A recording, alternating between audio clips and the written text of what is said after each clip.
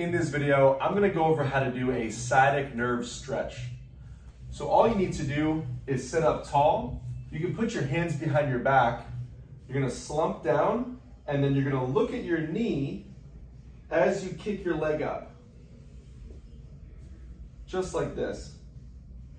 And if you're a little bit more flexible, you can look down more towards your thigh or your hip as you kick your leg up. Now when doing this, you may feel, or you need to feel tension rather, and you may feel it at different points.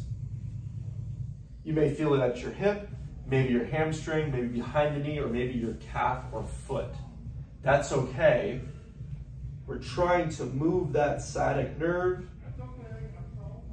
and then release pressure and tension. Pressure on, pressure off. Pressure on, pressure off.